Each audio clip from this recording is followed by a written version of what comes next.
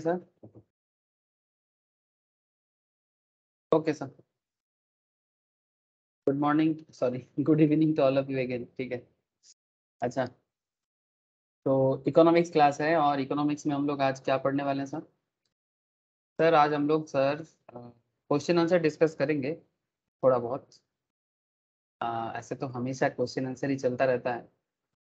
But साथ में मैं आपको आज इंटरेस्टिंग जो एक पॉइंट था डिमांड एंड सप्लाई का एक कंक्लूजन होगा आज बेसिकली मतलब डिमांड सप्लाई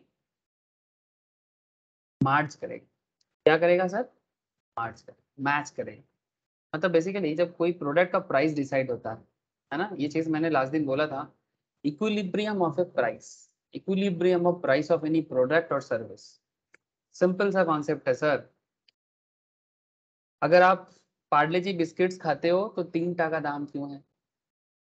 मैगी का पैकेट फोर्टीन रुपीज़ क्यों है? स्टैंडर्ड पैकेट अब कोई बोलेगा सर मैं सिक्सटी फाइव वाला लेके आता हूँ। That's a different part sir sir ये पेन जो है पेन देख रहे हैं सर ये पेन एक आ, क्या पेन है इसको? क्या बोलेंगे इसको? सर ये एक डिजिटल पेन है जो पेन बोर्ड में लिखा जाता है। जिसके थ्रू से मैं आप लोगों को लिख के बताता हूँ। आजकल ये फ़ैशन हुआ है ऑनलाइन के लिए। मैं तो कभी इससे पहले नहीं किया था। ये ऑनलाइन क्लास जब से ले रहा हूँ तभी से ये सब पेन देखा। इससे पहले तो मैं कभी नहीं देखा।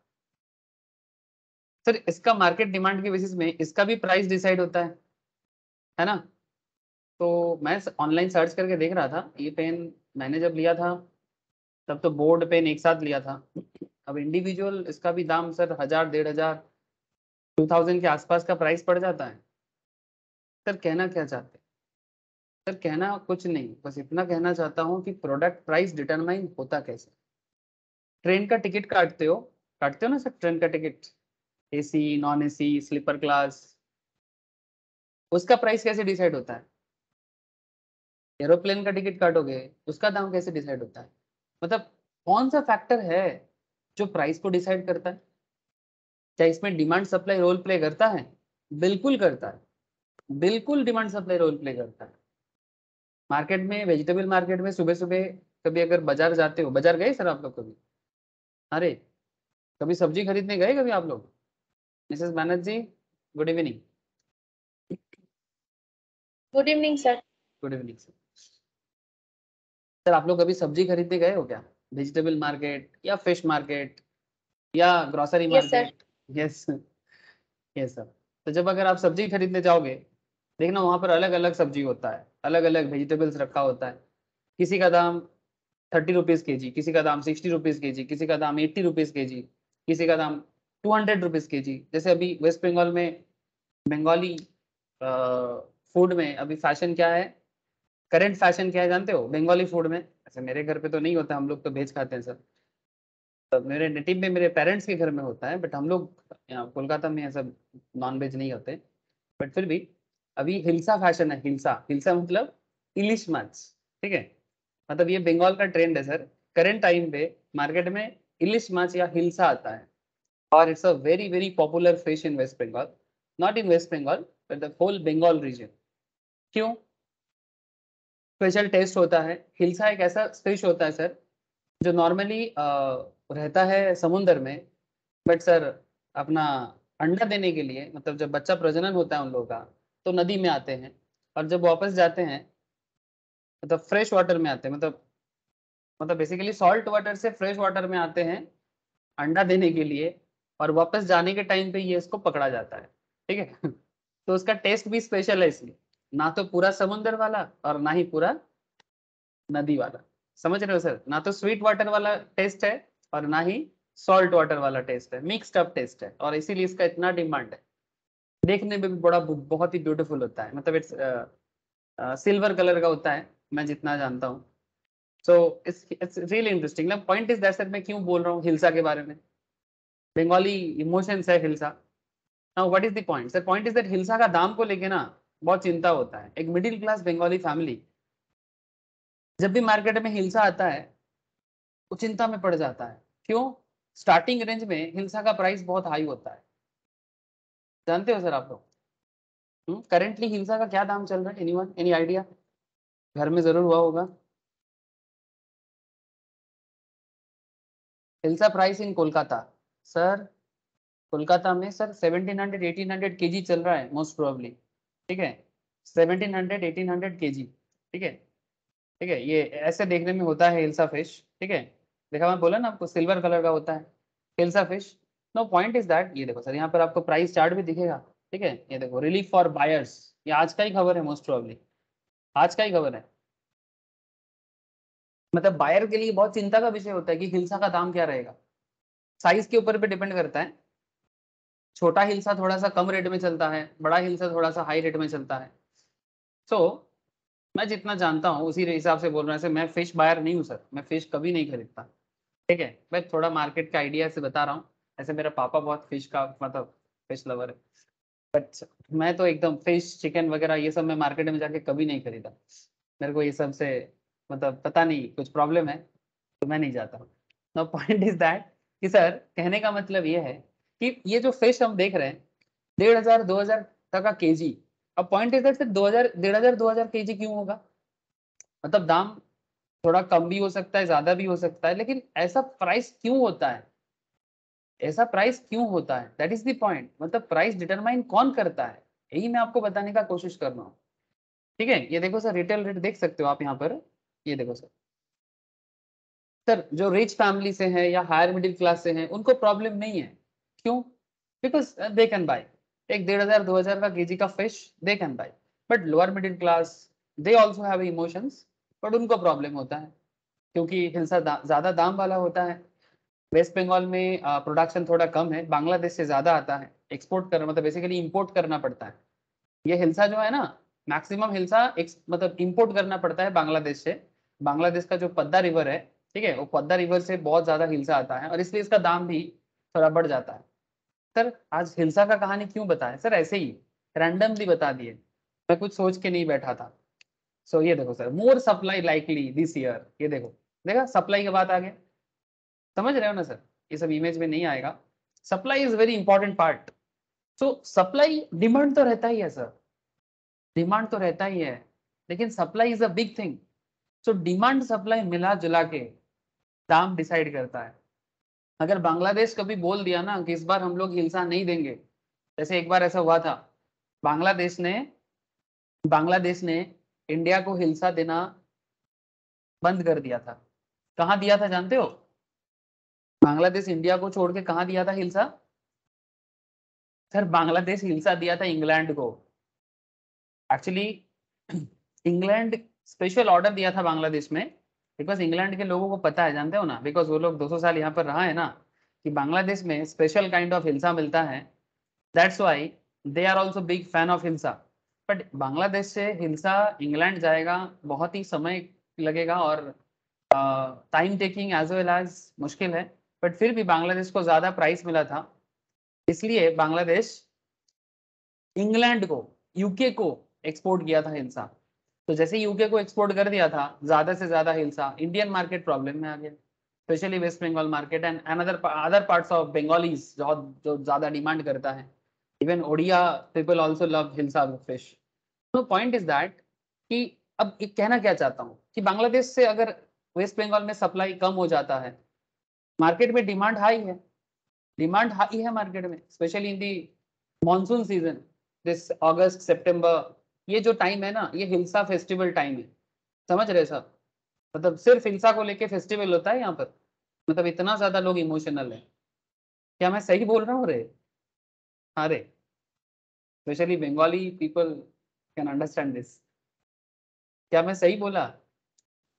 Yes sir sir so what is the point sir point is that जैसे कि मुझे पता है मेरे घर में एक फेस्टिवल होता है, जो रान्ना पूजो बोलता है, ठीक है? मतलब या फिर कोई कोई बोलते हैं उसको औरंधन तो एक दिन का बिना खाना पकाए रखता है मतलब खाना नहीं बनता, उसके बाद हिंसा का बहुत लोगों को खिलाया जाता है आस पड़ोस में। एक पूजा होता है बेसिकली रिचुअल्स है। तो एक, उसमें भी हिंसा का बहुत पापा खरीद के लाते थे बचपन में। अभी भी होता है बट मैं हमेशा नहीं रह पाता। तो पॉइंट इज़ दैट कि ये हिंसा का सप्लाई अगर कहीं पर किसी कारण से अगर बंगाल में कम हो गया ना दिमाग खराब हो जाता है लोगों का। सर एग्जैक्टली exactly, मैं इसी तरह का पॉइंट पे बात अभी क्यों कर रहा हूँ आपको? सर पार्ले जी मैगी ये सब बात तो करता रहता हूँ। मानसून सीज़न है हिलसा इमोशंस है इसलिए थोड़ा बता दिया। तो पॉइंट इज़ दैट सर ये प्राइस का इक्विलिब्रियम ये कैसे डिसाइड होता है? यही मैं एक्चुअली बात करना चाहता हूँ। कि डिमांड एंड सप्लाई ये दोनों मिलके डिमांड सप्लाई दोनों मिलके प्रोडक्ट प्राइस डिसीज़न होता है सर। ठीक है? चाहे वो हिलसा हो ट्रेन का टिकट हो बिस्किट्स का पैकेट हो ठीक है? ट्रेवल टूर का पैकेज हो ठीक है? जो भी जो भी आप चाहते हो एवरीथिंग ठीक है? सो so, हम लोग सर डिमांड भी पढ़ लिए सप्लाई भी पढ़ लिए ठीक है? हम लोगों ने जिसी का अगर किसी का डिमांड का कोई चैप्टर अभी भी मिस है सर प्लीज़ उसको अभी भी पेंडिंग मत रखो। डोंट ठीक है? अगर पेंडिंग है तो जस्ट कंप्लीट करो सर और कोई डाउट है तो डाउट भी क्लियर कर लो।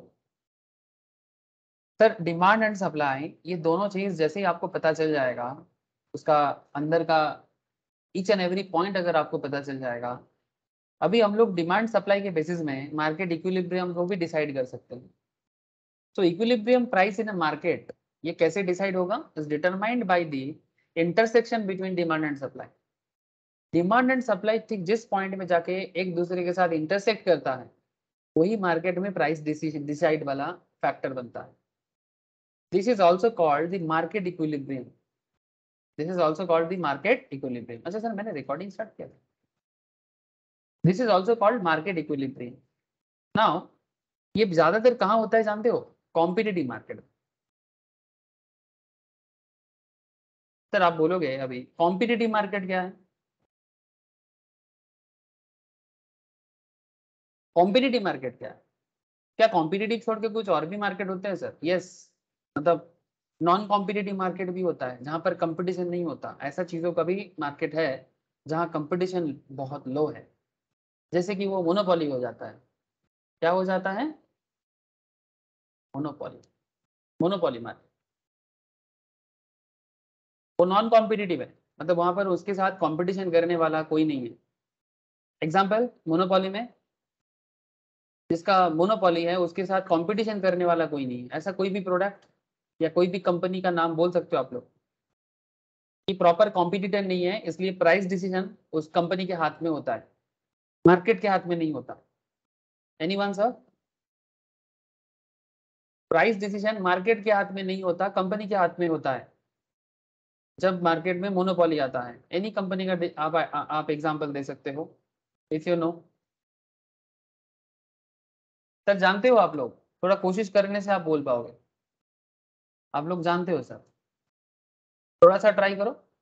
मोनोपोली मार्केट, जहाँ पर कंपटीशन मार्केट में नहीं चलता उनका, और प्रोडक्ट का प्राइस क्या होगा, वो कंपनी खुद डिसाइड करता है। ऐसे तो मैं एक चैप्टर पढ़ाऊँगा आप लोगों को मार्केट बोल के। वहाँ पर आपको मैं डिटेल्स में बात करूँगा तब। ठीक है? वहाँ पर अलग अलग मार्केट के बारे में बात होगा। मोनोपोली मोनोपोलिस्टिक ऑलिगोपोली डुओपोली ठीक है? परफेक्ट कंपटीशन जैसे अभी जो मैं बात कर रहा हूँ बेसिकली परफेक्ट कॉम्पिटेटिव मार्केट के बारे में बात हाँ। बोलिए ITC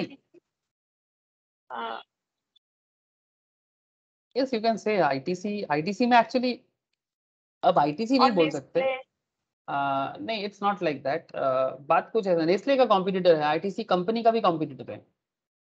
You can say through product wise ठीक है? आप प्रोडक्ट वाइज बोल सकते हो। जैसे एक पॉपुलर एग्जांपल लेते हैं। IPhone okay. का कोई कॉम्पिटिटर नो सर आईफोन का कोई कॉम्पिटिटर है क्या? नो नो मार्केट में और भी बहुत सारा फ़ोन कंपनी है। बट क्या वो आईफोन को कॉम्पीट करता है? मतलब आईफोन का बायर जब मार्केट में जाता है तो आईफोन के साथ वो दूसरा किसी कंपनी को कंपेयर कर सकता है क्या? नो सर मिसेस बैनर्जी का कहना है नो बाकी लोगों का क्या कहना है सर सनोन नयनी बोलो सर राजन ना? नो सर ना? एग्जैक्टली exactly, हम आईफोन का कॉम्पिटिटर नहीं ढूंढ पाते है ना? बिकॉज़ आईफोन का कॉम्पिटिटर क्यों नहीं मिलता हमें? इसका स्पेशलिटी आईफोन का कॉम्पिटिटर इसलिए नहीं मिल पाता because iPhone is very special iPhone या एप्पल का फ़ोन बहुत ही स्पेशल होता है और इंपॉर्टेंट uh, बात यह है सर कि एप्पल का फ़ोन मतलब जिस स्पेशल uh, फीचर्स या जिस स्पेशल कैटेगरी के साथ ये आता है इसका कोई दूसरा कॉम्पिटिटर नहीं है मार्केट में। ऐसे कंपनी आया है वन प्लस बोल के। बट वन प्लस का मैक्सिमम क्या दाम है सर वन प्लस का मैक्सिमम दाम क्या है এক লাখ পঁচাত্তর হাজার वन प्लस वन प्लस का ठीक या है, आईफोन का না না OnePlus OnePlus one lakh seventy five thousand का मिलता है হ্যাঁ আজকে অ্যামাজনে দেখছিলাম স্যার अरे बाप रे मतलब वन प्लस एक्चुअली आईफोन को कंपटीशन देने के लिए হ্যাঁ मार्केट में आया এক- है হ্যাঁ একটা একটা দিচ্ছে টেকটা अभी थोड़ा सा कोशिश कर रहा है कि वो भी आईफोन के जैसा बनाए ठीक है तो बेसिकली अभी आईफोन का सबसे बड़ा चिंता है वन प्लस बट अभी भी आईफोन का इमोशंस जो जिस तरह से लोगों के मन में है स्टिल मोनोपोली है उसका। तो मैं जस्ट यही कहना चाहता हूँ आपको कि अगर किसी का किसी अपने बिज़नेस पे जिसका मोनोपोली है वो दाम खुद डिसाइड करता है तो उसको मार्केट कॉम्पिटिटर के बारे में चिंता करने का ज़रूरत नहीं है ठीक है? सो so, इसके बारे में मैं डिटेल्स डिस्कशन आपके साथ बाद में करूँगा सर ठीक है?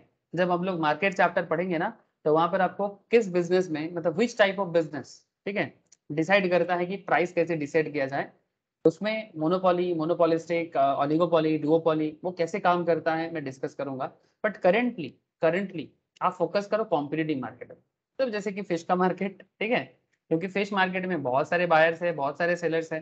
कॉम्पिटेटिव मार्केट का मतलब होता है जहाँ पर बायर भी बहुत सारा, जहाँ पर सेलर भी बहुत सारा, ठीक है?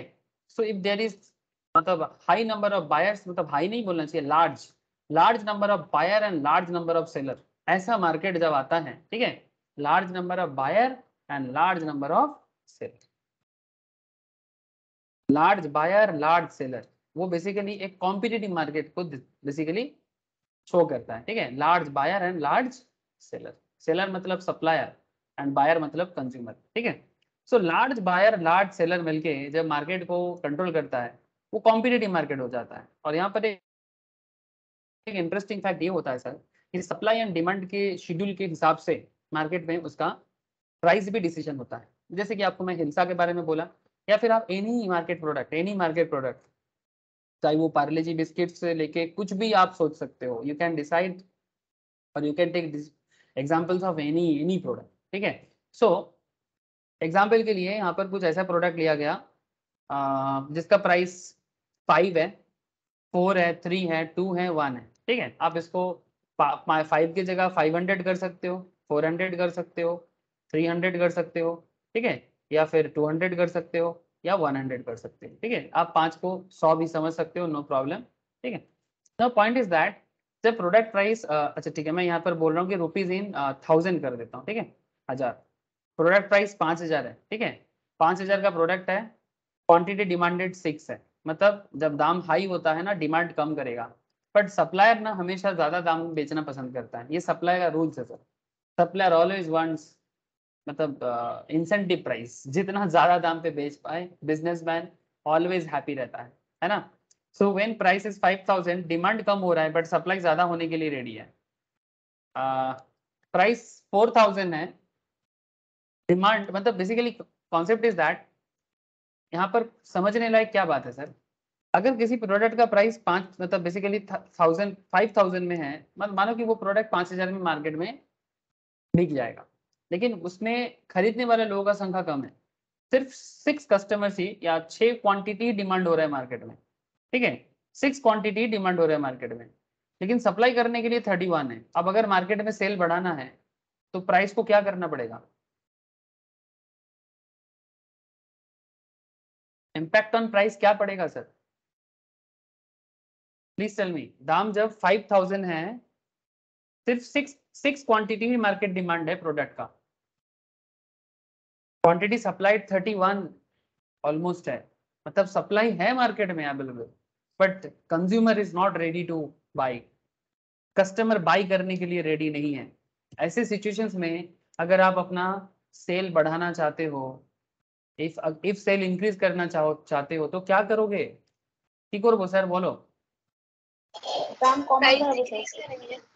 है ना सर? प्राइस को डिक्रीज करना पड़ेगा है ना? तो पाँच हज़ार से दाम देखो चार हज़ार हो गया।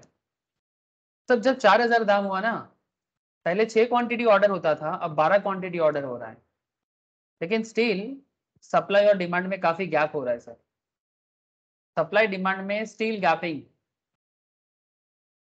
अभी भी 12 क्वांटिटी डिमांड हो रहा है लेकिन सप्लाई 25 क्वांटिटी होने के लिए रेडी है।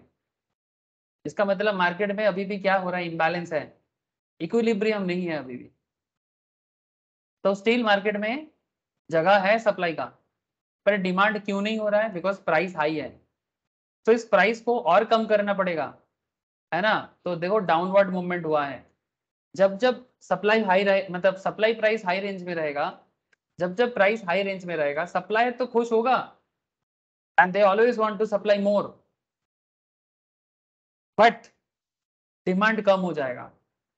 Now there is another point जब प्राइस तीन हज़ार में आ गया सर जब प्राइस तीन हज़ार में आया, तब आप देखो डिमांड 19 का है सप्लाई भी 19 का है।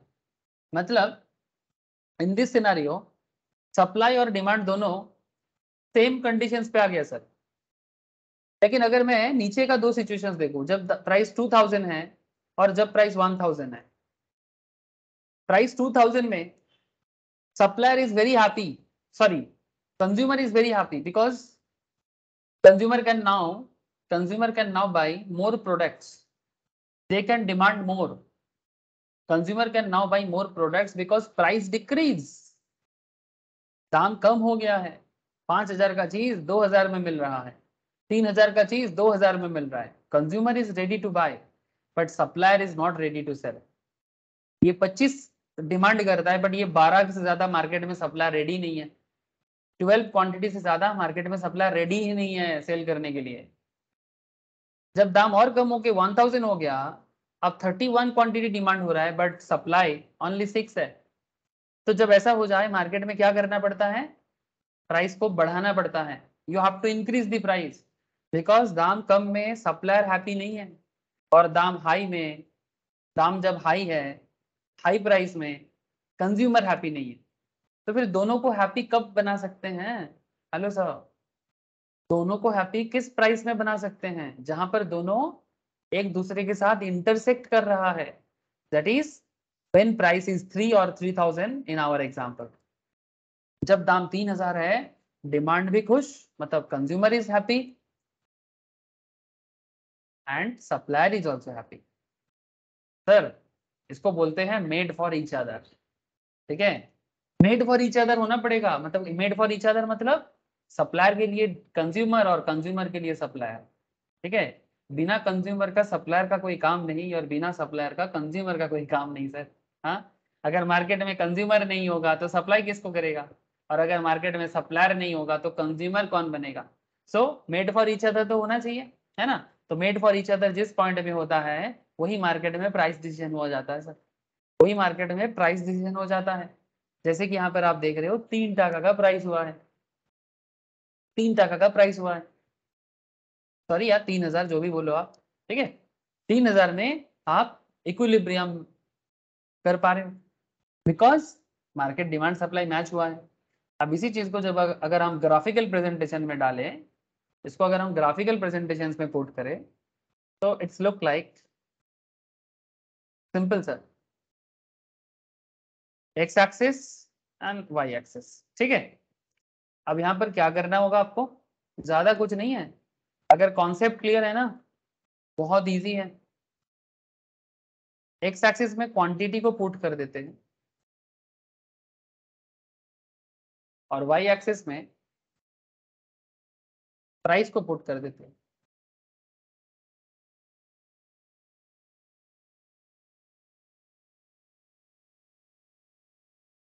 ठीक है?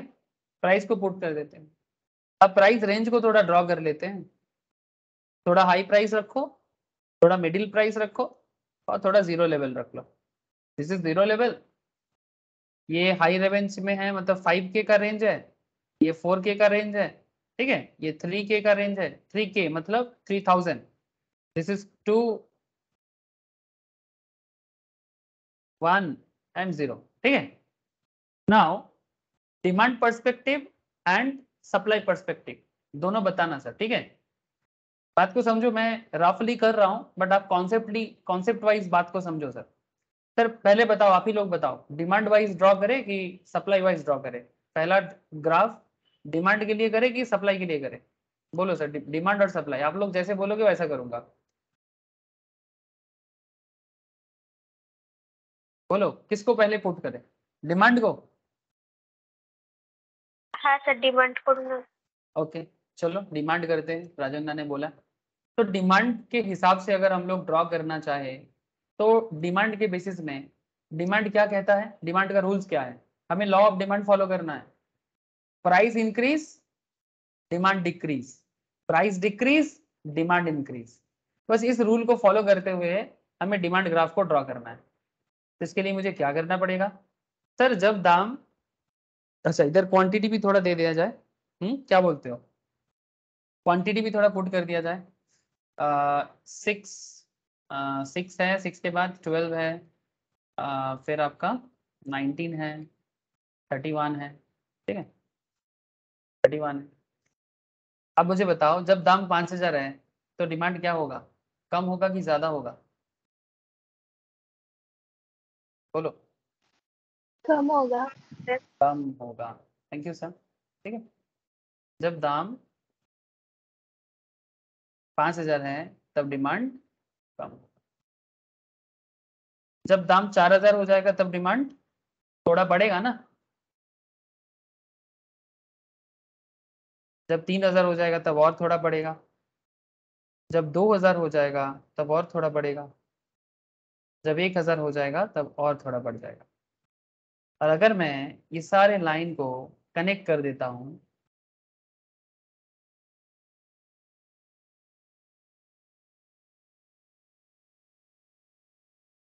तो ये बन गया मेरा डी डी अब आप सेम कॉन्सेप्ट में सप्लाई को समझो। सेम कॉन्सेप्ट में अभी हमें सप्लाई को समझना है। अब आप लोग सप्लायर के पॉइंट ऑफ़ व्यू से मुझे बताना कि मैं क्या करूँ।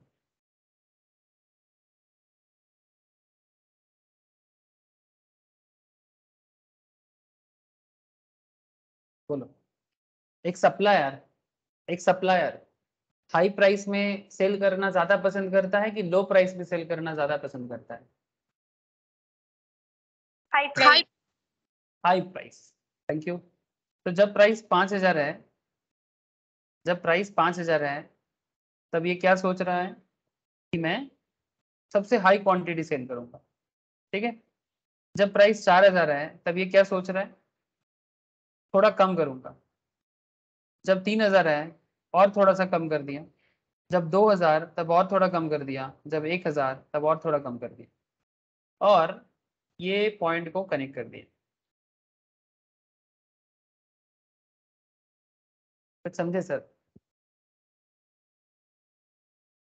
यहाँ पर थोड़ा बहुत इधर उधर हुआ है बिकॉज़ मैं हाथ से किया। ठीक है? ये क्या हो गया? ये डिमांड सप्लाई मार्च कर गया। अब इसको अगर हम यहाँ पर ये जो जो जो मेरा बेसिकली लाइन आ गया इसको अगर मैं यहाँ से हटा देता हूँ।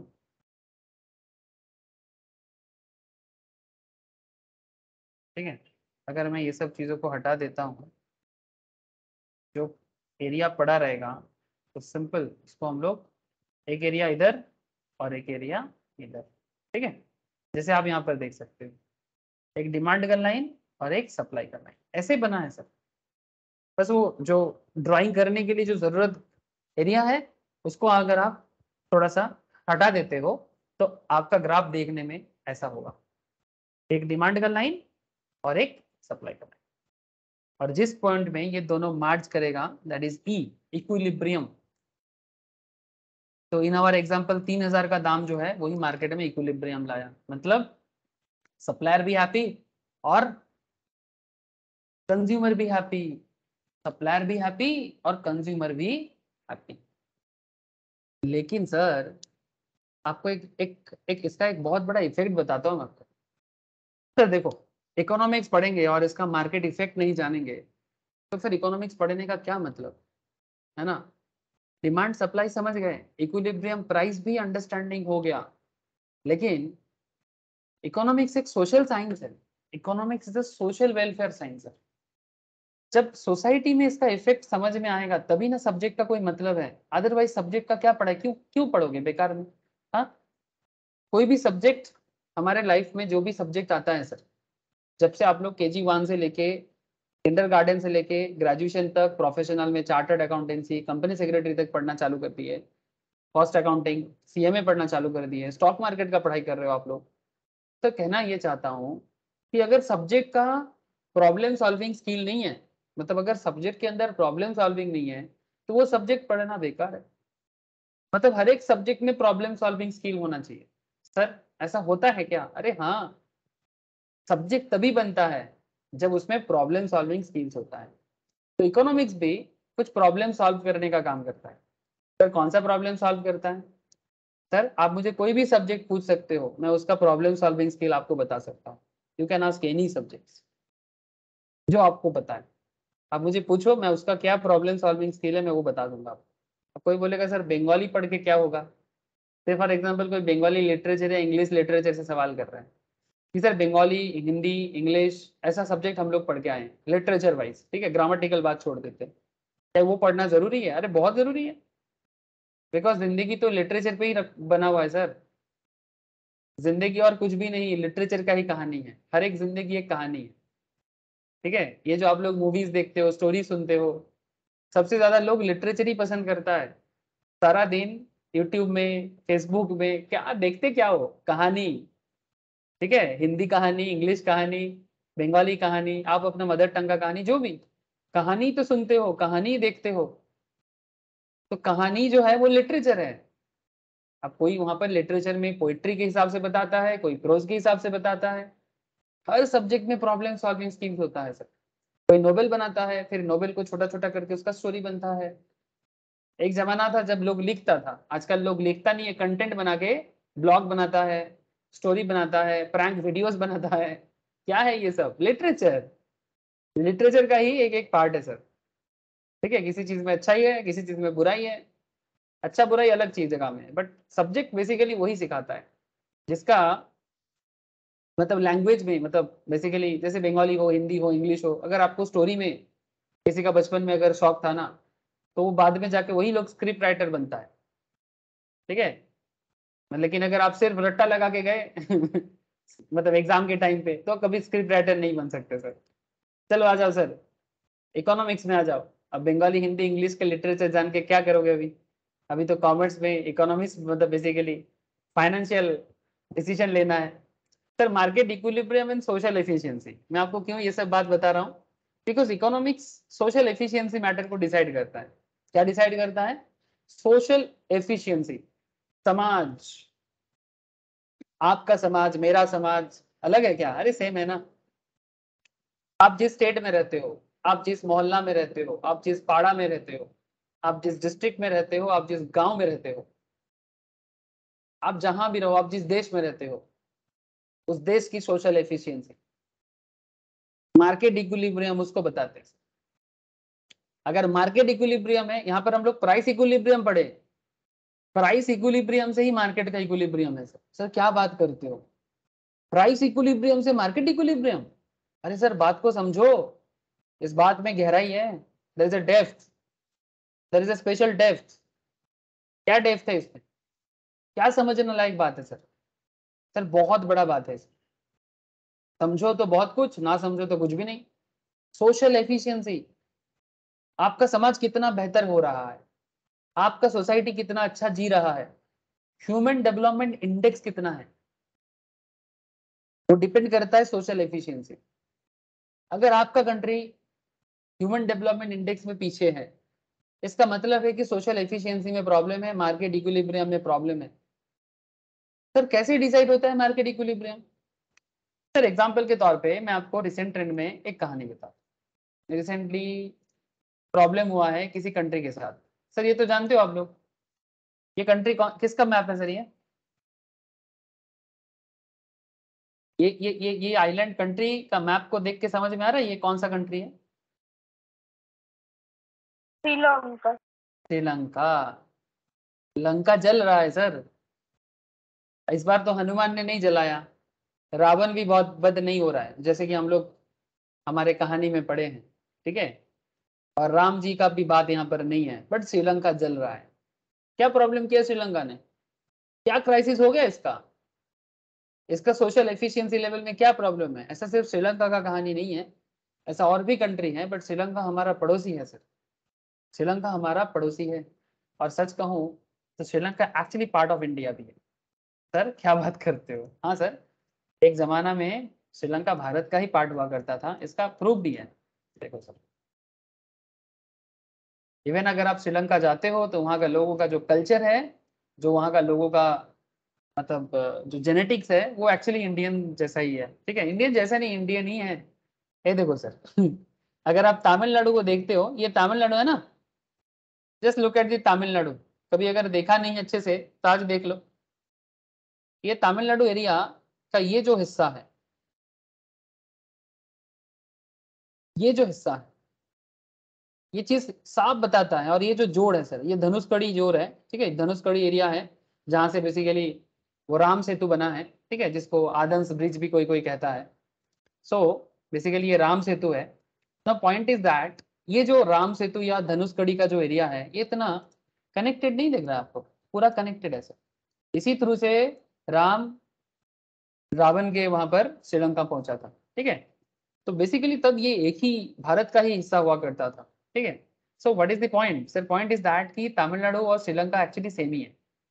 इसका मिट्टी, इसका कल्चर ऑलमोस्ट सिमिलर कैटेगरी में ही आता है। सर छोड़ो कल्चर में नहीं पढ़ते अभी। अभी पॉइंट इज़ दैट हमारा पड़ोसी है, जल रहा है। इसका इकोनॉमी जल रहा है सर तो इसमें प्रॉब्लम क्या हुआ? सर इकोनॉमिक का प्रॉब्लम है। सोशल एफिशिएंसी में प्रॉब्लम है। डिमांड सप्लाई मेंटेन करने में प्रॉब्लम है। सिंपल सा बात। डिमांड सप्लाई एफिशिएंसी मेंटेन करने में नाकाम है, सर। बेसिकली करेंटली फेलियर है।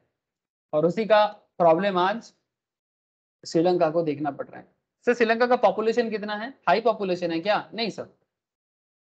It's not a high population country it's hardly two crore population है श्रीलंका में। लेकिन इसका मेन प्रॉब्लम यही हुआ, सर, कि श्रीलंका डिमांड सप्लाई मैटर को संभाल नहीं पाया। They are fail to manage they are fail to manage the demand supply situation of their country because due to some bad economic decisions of their government. Bad economic decisions of their government. That is why इतना लो population लेके भी मतलब लो नहीं बोलेंगे two crore and two point two point five crore के आसपास population है moderate population है साइज़ के हिसाब से. इतना मॉडरेट पॉपुलेशन लेके भी इतना प्रॉब्लम है. मतलब फैमिली मेंबर इतना भी ज़्यादा नहीं है, ठीक है? इतना भी ज़्यादा नहीं है. भारत तो डेंसली पॉपुलेटेड है. बांग्लादेश डेंसली पॉपुलेटेड है सर भारत भारत तो छोड़ो, बांग्लादेश सबसे डेंसली पॉपुलेटेड कंट्री है वर्ल्ड का। दुनिया का सबसे ज़्यादा डेंसली पॉपुलेटेड लोग बांग्लादेश में रहता है। मतलब इतना ज़्यादा डेंसिटी दुनिया के किसी भी कंट्री में नहीं है। भारत और बांग्लादेश में जितना डेंसिटी है, इतना डेंसिटी दुनिया में किसी भी देश में नहीं है। इतना लोग को भी मेंटेन कर लेता है बांग्लादेश। आपको भी बोलेगा सर नेचुरली फर्टाइल है, इसलिए हाँ वो रीजन ज़रूर है बट सर नेचुरल मैटर के साथ साथ गवर्नमेंट डिसीजंस भी मैटर करता है। सर इतना इतना सा बांग्लादेश में, इतना सा बांग्लादेश में 16 करोड़ लोग रहते हैं। इतना सा वेस्ट बंगाल में, इतना सा वेस्ट बंगाल में, बांग्लादेश से वेस्ट बंगाल छोटा है साइज़ में, मैं आपको बता दूँ, ठीक है? Bangladesh is equals to our Odisha Odisha का साइज़ बांग्लादेश का साइज़ सेम है। इतना सा वेस्ट बंगाल में टेन करोड़ लोग रहते हैं। और अगर मैं बांग्लादेश के साथ या वेस्ट बंगाल के साथ श्रीलंका का साइज़ को डिफर करूँ मतलब बेसिकली कंपेयर करूँ आपके साथ तो दिस इज़ द बांग्लादेश का साइज़ ठीक है? ये बांग्लादेश का साइज़ है। आप बांग्लादेश को पुट करते हैं सर श्रीलंका में। श्रीलंका छोटा है साइज़ में यस ठीक है? साइज़ में छोटा है। सो पॉइंट इज़ दैट फिर भी श्रीलंका का पॉपुलेशन भी लो है 2.5 crore something approx where is problem sir social efficiency में क्या प्रॉब्लम कर दिया? क्या प्रॉब्लम कर दिया? सर इसको इसको इस, मतलब इस पॉइंट को समझने के लिए आपको ना ये कंज्यूमर सरप्लस और प्रोड्यूसर सरप्लस समझना पड़ेगा। Equilibrium price and social efficiency equilibrium price and social efficiency ये समझना ज़रूरी है। सर ये समझना क्यों ज़रूरी है? इसको लिए आपको मैं प्रैक्टिकल बता रहा हूँ। श्रीलंका का सिचुएशन को समझा रहा हूँ दो मिनट श्रीलंका में पेट्रोल का प्राइस कितना चल रहा है जानते हो आप लोग?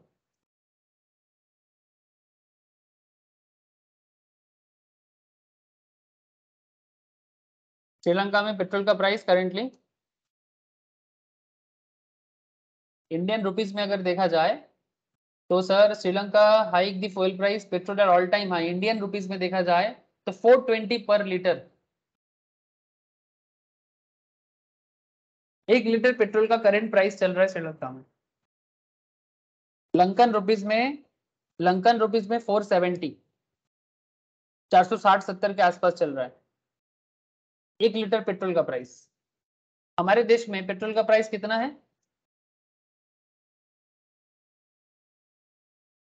अरे बोलो एनी आइडिया सर इंडिया में करंट पेट्रोल प्राइस है 96 97 मोटा मोटी हंड्रेड के आसपास है, ठीक है? हंड्रेड के आसपास है, एक लीटर पेट्रोल का दाम। श्रीलंका में फोर टाइम्स ज़्यादा है। ये पेट्रोल है, जो बहुत ही ज़रूरी एक चीज़ें हैं। लेकिन नॉट जस्ट पेट्रोल पेट्रोल महँगा मतलब नॉर्मल फ़ूड भी महँगा। नॉर्मल फ़ूड इवन अगर आप मतलब से for example potato price in Sri Lanka. Potato price आप जस्ट सर्च करो। पोटैटो शुगर इसका एक पूरा डेटा है, मैं आपको शेयर करूँगा। सर पोटैटो का प्राइस श्रीलंका में एक केजी आलू का दाम भी आप देख सकते हो। टू फिफ्टीन रुपीज़ के जी कोलम्बो में। टू हंड्रेड फिफ्टीन एक के जी आलू का दाम है। हमारे यहाँ पर तीस से चालीस टका के जी है सर ज़ोर से ज़ोर फिफ्टी रुपीज़ के जी है। सर, आप लोग कुछ देख रहे हो सर? अगर हम एक, मैं रैंडम एक आपको दिखा रहा हूँ। अगर कोई 12 पीस अंडा लेना चाहता है तो श्रीलंका में 435 के आसपास का दाम है। मतलब जस्ट इमेजिन कि किस लेवल में प्रोडक्ट का प्राइस श्रीलंका में हाई चल रहा है। सर, आप सोचोगे सप्लायर खुश है हाई प्राइस चल रहा है। फिर इतना हाई प्राइस पे सप्लायर खुश तो होगा बट खरीदने कौन आएगा? मतलब खरीदने वाला भी तो सोचेगा। Hello sir do all understand the point ये श्रीलंका के पार्लियामेंट के सामने लोगों ने, सर, जिस तरह से बेसिकली एकजुट हुआ है, आप समझ रहे हो ना? श्रीलंका पार्लियामेंट के सामने लोग जिस तरह से एकजुट हुआ है बेसिकली प्रोटेस्ट के लिए high inflation high inflation sir sir what is the point now sir point is that जैसे श्रीलंका का क्राइसिस सिचुएशन जो मैं आपको बताना चाहता था कि Sri Lanka problem seems to stem from the fact that country is quickly running out of foreign exchange reserve इसके पास फॉरेक्स फॉरेन एक्सचेंज रिज़र्व खत्म हो गया है मतलब ऑलमोस्ट खत्म हालत में। नहीं है नेगेटिव हालत में फॉरेन एक्सचेंज रिज़र्व क्या होता है?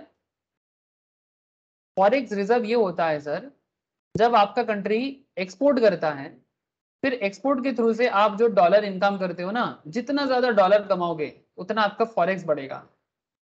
और उसी फॉरेक्स से बाद में आप इंपोर्ट करोगे तो सस्ता पड़ेगा। तो इसके पास फॉरेक्स रिज़र्व बहुत खराब खराब हालत में है। Things like gold dollar and other dollars like assets इस तरह का चीज़ें ऑलमोस्ट खत्म। And while this prognosis may seem accurate at first it simply symptom of a problem that run much deeper so let's take it from the top Sri Lanka is what you call a frontier economy an economy that is neither under develop nor big enough Sri Lanka एक frontier मतलब एक positive economy है, ना ही बहुत ज़्यादा under develop है, ना ही बहुत ज़्यादा डेवलप है। So to be branded and emerging economy इसको, इस तरह के इकोनॉमी को हम लोग इमर्जिंग बोलते हैं, जैसे इंडियन इकोनॉमी ठीक है? It is somewhere in between and countries like these are usually depend on a few specified sectors. Sri Lanka का इकोनॉमी कुछ स्पेशल चीज़ों पे डिपेंड करता है। And in Sri Lanka case they seem to be highly dependent on tourism tea and few other agricultural products Sri Lanka का economy mainly किस पे depend करता है? टूरिज़्म पे बहुत हाईली डिपेंड करता है टी पे डिपेंड करता है एंड कुछ एग्रीकल्चरल प्रोडक्ट्स पे डिपेंड करता है। टोटल जीडीपी का 10 percent Sri Lankan economy 10 percent total 100 percent में से मतलब अगर श्रीलंका सौ टका इनकम करता है if Sri Lanka earn hundred rupees then out of hundred ten rupees कमाता है टूरिज़्म के थ्रू से। जस्ट ट्राई टू अंडरस्टैंड मैं श्रीलंका के बारे में थोड़ा आपको इन्फॉर्मेशन इसलिए दे रहा हूँ ताकि मैं आपको डिमांड सप्लाई सिचुएशन समझाने में थोड़ा बता पाऊँ कि क्या प्रॉब्लम हुआ है श्रीलंका में और डिमांड सप्लाई सिचुएशन किसी भी कंट्री में बेसिक लेवल में मैनेज करना कितना इंपॉर्टेंट है। And so when the pandemic made landfall जब पैंडेमिक चालू हुआ, श्रीलंका में नॉर्मल प्रॉब्लम हो गया टूरिस्ट नहीं आया, it was inevitable that country would have to deal with lot of problems sri lankan tourism industry took ठीक है, एकदम ना के बल पे गिरा। ठीक है? मतलब वैसे हम लोग बोलते हैं ना, नाक थोबड़े पोरे जावा। ठीक है? बंगाली में हम लोग बोलते हैं। ठीक है? नाक के बल गिरना या फिर नाक थोबड़े पोरे जावा। श्रिंकिंग बाय 3.6 परसेंट इन 2020 मतलब श्रिंक कर रहा है, डूब रहा है। Tourist were no longer thronging the beaches of island nations of the country out of a lot of precious foreign income foreign income आना बंद। According to data from trading economy, Sri Lanka earned revenue of 450 million a month during the heady pre pandemic days मतलब 455 million per month Sri Lanka tourist से income करता है। But it was down to a mere of 3 million this July so why large companies economies like Japan China US and India were easily able to master resources और to fight the pandemic मतलब जैसे मतलब Indian economy high economy है, बड़ा economy है। Japan China US बड़ा economy है।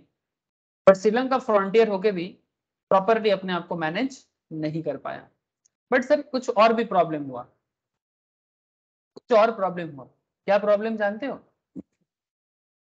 तो श्रीलंका ने डिसीज़न लिया था कि वो अपने कंट्री में जो एग्रीकल्चर करता है ना, ये ऑर्गेनिक एग्री करेगा। टोटल ऑर्गेनिक फ़ार्मिंग इसके लिए वो फर्टिलाइज़र बैन कर दिया था। मतलब केमिकल फर्टिलाइज़र को बैन करके टोटल ऑर्गेनिक फ़ार्मिंग करेगा। अब ऑर्गेनिक फ़ार्मिंग करने में बहुत खर्चा आता है सर। और इसके लिए गवर्नमेंट को भी सब्सिडी देना पड़ता है। बिकॉज़ ऑर्गेनिक फ़ार्मिंग में जो बिकॉज़ इतना दिन फर्टिलाइज़र यूज़ हो गया तो अचानक से आप ऑर्गेनिक में शिफ्ट होना चाहते हो तो it's take time and also it's take it's take lots of money तो ये प्रॉब्लम हो गया, सर। अचानक से the banned fertiliser yes all chemical fertiliser this hard tea plantation अगर अगर आप अचानक से ऑर्गेनिक में शिफ्ट हो जाओगे तो आपका जो एग्रीकल्चर है ट्री प्लांटेशन है टी चाय से जो आप इनकम करते हो टी एक्सपोर्ट बहुत बड़ा एक एरिया है श्रीलंका के लिए टी एक्सपोर्ट में प्रॉब्लम ऊपर से एक रिपोर्ट आया T is the Sri Lanka single biggest export bringing in more than 1.25 billion a year, making up at most 10% of the country's export income. आप समझ रहे हो? And the eel thought out, crusade not only cost tea plantations and farmers dearly, but also related service. मतलब just tea नहीं, tea and tea related everything. Financial sectors, हर चीज़ में इसका effect सब एक चीज़ में इफ़ेक्ट नहीं आता. इफ़ेक्ट ना लगातार हर चीज़ में आ जाता है. By the time government did relax a few restrictions the damage was done जब रेस्ट्रिक्शन लगाना चालू किया ऑलरेडी डैमेज हो चुका है. ऑलरेडी डैमेज हो चुका है फॉरेन इनकम भी बंद हो चुका है. अब ऐसे हालत में श्रीलंका में डिमांड सप्लाई गैप बहुत हो गया। समझ रहे हो सर सप्लाई का क्या गैप हुआ ना पर? सप्लाई नहीं है डिमांड तो है। Demand is there but no supply but supply नहीं है तो डिमांड जितना है वो हाई प्राइस में बिकेगा। डिमांड हाई है, पर सप्लाई नहीं है। मतलब जिसके पास पैसा है वो खरीद पाएगा, जिसके पास नहीं है वो नहीं खरीद पाएगा। तो इसलिए श्रीलंका अभी भी इकोनॉमिक इमरजेंसी से निकल रहा है, सर। इसके पास फॉरेन रिज़र्व नहीं है। फॉरेन रिज़र्व 2.8 बिलियन से गायब, जो 7.5 बिलियन हुआ करता था। 7.5 से 2.8 बिलियन जस्ट वन ईयर में। और ऐसा नहीं कि ये 2.8 बिलियन रह जाएगा। पेट्रोल पर बाई करना है बिकॉज़ बिना पेट्रोल का तो कुछ भी नहीं हो पाएगा। पेट्रोल बाई करने में सबसे ज़्यादा पैसा लगता है किसी भी कंट्री का। तो फॉरेन एक्सचेंज रिज़र्व बहुत इंपॉर्टेंट था। अब फॉरेन एक्सचेंज रिज़र्व भी उसका खत्म होते को जा रहा है, ऐसे सिचुएशंस में वो इंटरनेशनल मार्केट से जो इंपोर्ट करता है why makes what makes foreign exchange reserve so precious ऐसा क्या चीज़ है जो फॉरेन रिज़र्व को इतना प्रीशियस बनाता है? Think of it this way foreign exchange generally dollars is how countries पे for goods when they bye stuff from international markets तो if Sri Lanka wants to buy fuel और मीट जो भी उनको बाहर से लाना पड़ता है will have to pay for it with the reserve they earned जो reserve उसने earn किया वहीं से देना पड़ता है unfortunately they have been expending a lot of foreign currency while not earning as much so if they need to buy stuff from international market anytime soon they will be in a big bit of a pickle मतलब कुछ नहीं है just a pickle की तरह है now कुछ industry solutions लेके आ सकता है जैसे कुछ प्रिंटिंग प्रेस का एरिया है जो श्रीलंका में अच्छा होता है Sri Lanka can print a lot of local currency and exchange it for dollar denominated asset that would solve a lot of there problem अब इसको इकोनॉमिकली सॉल्व करने का सिचुएशंस को देखा जाएगा कि और पैसा छपवाना पड़ेगा। बट ये कुछ सर्टेन सिचुएशंस को कंट्रोल कर सकता है but not a big problem मतलब बिग सिचुएशंस को सॉल्व नहीं कर सकता। तो अभी श्रीलंका में जो चल रहा है ना, ये डिमांड सप्लाई गैप के कारण हाइपर इन्फ्लेशन चल रहा है हाइपर इन्फ्लेशन मतलब इन्फ्लेशन का बाप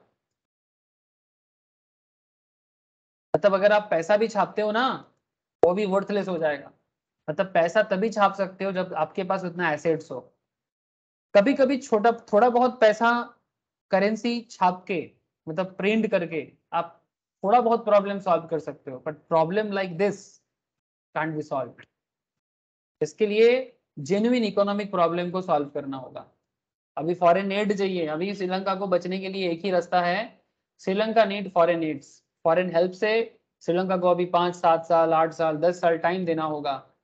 तब जाके श्रीलंका का प्रॉब्लम धीरे धीरे धीरे धीरे खत्म होगा। समझ में आ रहा है, सर? ठीक है? तो it's all about it's what so यह Sri Lanka dangerous cocktail of economic mismanagement Sri Lanka ने जो किया, वो बेसिकली इकोनॉमिक मिसमैनेजमेंट है। पैंडेमिक ओड्स एंड क्रिपलिंग डेब्ट obligation at all once and in in N नॉनेस्टी honesty nobody knows how the country will deal with all this without some outside help जब तक बाहर के country like India USA World Bank IMF ये लोग help नहीं करता है ना, तब तक श्रीलंका का ये सिचुएशन ठीक नहीं हो सकता। अब देखना सर हेल्प तो ऐसे नहीं करेगा ना कोई। लोन भी करेगा। है ना? अपने घर से कौन कितना हेल्प कर सकता है? हमारे आसपास में कितना लोग गरीब है? क्या हम लोग हर गरीब को जाके हेल्प कर कर सकते हैं sir just try to understand in our surrounding areas there are lots of poor people क्या एक दिन किसी को खाना खिला के हम क्या उस पोअर पीपल को रिच बना सकते हैं सर टेल मी अरे बोलो ना। या रोज खाना खिला के भी आप उसको रिच बना सकते हो? No sir no sir this is not this is not the way to solve the problem from the very root level अगर आपको प्रॉब्लम सॉल्व करना है तो रूट लेवल में जाके करना पड़ेगा। ये दो दिन का कुछ पैसा दे के हाँ ठीक है डोनेट करना चाहिए, दान करना चाहिए, वो एक गुड वे है, ठीक है? ये एक as a human being it's a it's a good thing अगर आप जो दरिद्र हैं, जो पोर हैं, उनको हेल्प करो। बट ये एक सिंपल स्टिक मतलब it's a good nature of human being बोल सकते हो but this is not the way to solve the real problem आप, अगर आपको सच में प्रॉब्लम सॉल्व करना है तो आपको सच में इकोनॉमिक प्रॉब्लम सॉल्व करना होगा। आपको ऐसा डिसीज़न लेना होगा ताकि देश में गरीब ना रहे, ताकि देश में भिखारी ना रहे, ताकि देश में पोअर पीपल ना रहे। सर, इसके लिए क्या करना होगा? सर, बहुत सिंपल बात है। बात सिंपल है बट करने के लिए मेहनत चाहिए प्रोजेक्ट चाहिए इम्प्लीमेंटेशन चाहिए। जैसे एक सिंपल बात बताते हैं आपको। अगर ये सब बात आपको समझ में आ जाएगा ना सर ये जो कहानी मैं आपको अभी सुना रहा हूँ प्रैक्टिकली ये प्रैक्टिकल कहानी आपको ये इक्विलिब्रियम को समझने में बहुत हेल्प करेगा। अदरवाइज़ ये समझना थोड़ा मुश्किल है। बिकॉज़ ये consumer surplus and producer surplus कैसे सोशल एफिशिएंसी क्रिएट करता है ये आपको समझना होगा। इसको समझाने के लिए मैं आपको इतना सारा कहानी बता रहा हूँ जो श्रीलंका का प्रॉब्लम है जो सोसाइटी का प्रॉब्लम है। जैसे मैं, मैं आपको अपना स्टेट मेरा स्टेट आप लोगों में से भी बहुत लोगों का स्टेट होम स्टेट मेरा अपना स्टेट क्या है? सर मेरा स्टेट है बंगाल ठीक है? मैं वेस्ट बंगाल से बिलोंग करता हूँ. This is my mother land ठीक है? मातृभूमि है मेरा. ऐसे इंडिया मेरा मातृभूमि है बट अगर इंडिया के अंदर कोई मेरा होम है तो वो बेसिकली पश्चिम बंगाल. ठीक है? पश्चिम बंगाल है सर ठीक है? West Bengal this is my home state अब मेरे होम स्टेट में कुछ प्रॉब्लम चल रहा है. क्या प्रॉब्लम सर मेरे होम स्टेट में आजकल ना मतलब बेसिकली ऐसा ऐसा ऐसा ऐसा गवर्नमेंट की तरफ़ से कुछ इस तरह का नीति चल रहा है। सबको पैसा दिया जा रहा है। ऐसा वोट बैंक पॉलिटिक्स का। ये एक पॉलिटिकल एजेंडा है, ताकि आपको पैसा दिया जा रहा है, आप वोट दो। जैसे अलग अलग योजना बनाया। किसी को अलग अलग नाम भी दिया। मैं नाम भी यूज़ कर रहा हूँ। कन्याश्री, ठीक है? फिर, सुरश्री, देवोश्री, बहुत सारा प्रोजेक्ट है। आई डोंट नो मतलब कोई लड़की का शादी करेगा, उसके लिए बेनारसी भी मतलब जो लड़की के शादी में हमारे यहाँ पर जो ट्रेंड है सर बेनारसी साड़ी, ठीक है, जो बनारस का डिज़ाइन और कपड़ा है, वो वाला कपड़ा पहन के बंगाली लड़की का शादी होता है। वो कपड़ा, वो जो साड़ी है ना, वो साड़ी भी बंगाल गवर्नमेंट दे रहा है पेरेंट्स को कि आपके बेटी के शादी का साड़ी गवर्नमेंट देगा। सर क्या माँ बाप इतना बेकार हो गया है कि अपना बेटी का शादी देने के लिए बेनारसी नहीं दे सकता? डेढ़ हज़ार, दो हज़ार में आ जाता है। अगर थोड़ा महँगा लेगा तो पाँच हज़ार, दस हज़ार, पंद्रह हज़ार में आ जाएगा। जो जैसा फैमिली है। एक बेनारसी साड़ी नहीं दे सकता। वो साड़ी अगर डेढ़ हज़ार का भी बेनारसी, सबसे सस्ता वाला लिया मैंने। पर पर ईयर बंगाल का पॉपुलेशन दस करोड़ है। अगर दस करोड़ में से पाँच करोड़ अगर फीमेल है उसमें से अगर शादी करने वाले एज में बीस बाईस पच्चीस साल के एज में अगर लड़की का मैं काउंटिंग करूँ सिंपल एक काउंटिंग दे रहा हूँ आपको एक सिंपल बेनारसी साड़ी ऐसा बहुत सारा प्रोजेक्ट चल रहा है ठीक है? मतलब जिसमें जैसे लोखी लोखीर भंडार बोल के एक प्रोजेक्ट है जिसमें हर लड़की को पाँच सौ टका करके देने का एक प्रोजेक्ट चला है। मतलब मेरा सम, बात ये सर ऐसा फ्री का पैसा मत दो। That is the point sir कुछ मेहनत में करे, उसके बदले में दो। फ्री का क्यों पैसा दे रहे हो आप? कुछ किया क्या? कुछ प्रोडक्टिव करेगा तो पैसा दो ना। विदाउट एनी प्रोडक्टिविटी कोई काम नहीं, कुछ नहीं। सरकार के, कहाँ का, किसका पैसा है रे? ये जो सरकार पैसा बांट देते हैं, चाहे कोई भी गवर्नमेंट करे, मैं अपना स्टेट के बारे में बोल रहा हूँ। अगर ऐसा उड़ीसा में होता है, झारखंड में होता है यूपी में होता है, बिहार में होता है, राजस्थान में होता है, जहाँ पर भी होता है, बेकार होता है। हाँ सर, किसको देना चाहिए? अगर कोई मानो कि जैसे ओल्ड एज पॉपुलेशन है, ठीक है? बूढ़ा हो गया pension old old age pension सत्तर, पचहत्तर साल का बूढ़ा है, उनको दिया जाए, ठीक है? लेकिन ये यूथ को क्या? यूथ को क्यों बैठे बैठे पैसा देगा? बेनारसी साड़ी, अगर मानो पाँच करोड़ में से अगर देश में दस लाख लड़की का भी शादी होता है ना मतलब स्टेट में तो दस लाख इंटू पंद्रह सौ, समझ रहे हो सर? इतना पैसा सिर्फ़ बेकार में, बेनारसी साड़ी देने में सरकार का खर्चा है।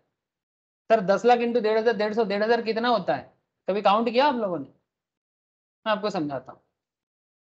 सर, इसमें कोरप्शन नहीं है। मैं बस पॉलिसी में बात कर रहा हूँ। देर इज़ नो करप्शन जैसे आजकल करप्शन के बारे में आप लोग देख रहे हो, मैं करप्शन में बात नहीं कर रहा हूँ। करप्शन अलग है, वो तो अलग से पैसा लेके जाएगा। मैं सिंपल आपको बता रहा हूँ कि दस लाख का अगर लड़की का शादी होता है, उसमें अगर सरकार की तरफ़ से डेढ़ हज़ार का भी साड़ी दिया जाता है तो इतना पैसा सरकार सिर्फ़ खर्च करता है। कितना होता है? डेढ़ सौ करोड़। अच्छा चलो, दस लाख लड़की का शादी थोड़ा मैं ज़्यादा मान लिया। एक लाख? एक लाख तो हो जाएगा। हाँ? एक लाख तो हो ही जाएगा। एक लाख इंटू डेढ़ हज़ार।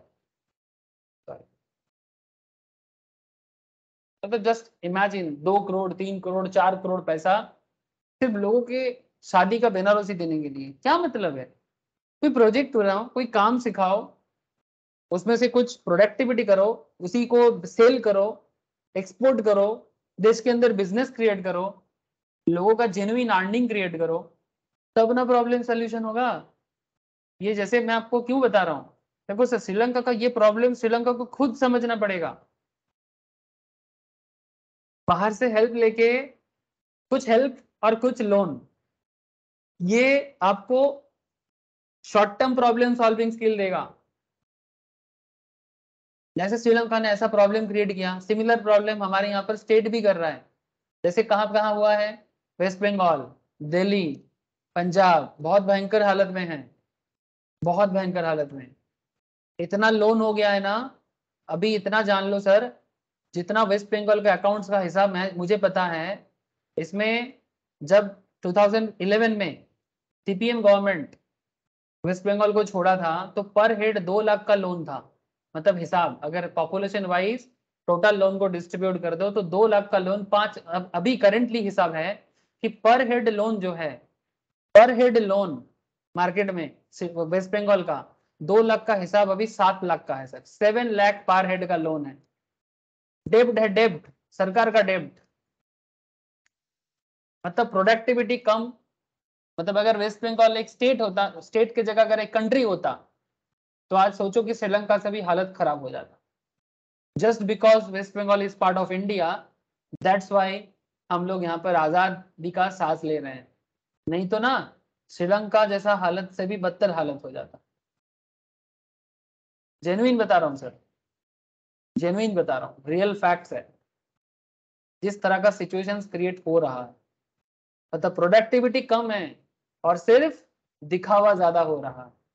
ऐसा करने से, चाहे कोई भी करे, कोई भी करे, भयंकर इकोनॉमिक क्राइसिस क्रिएट हो जाएगा।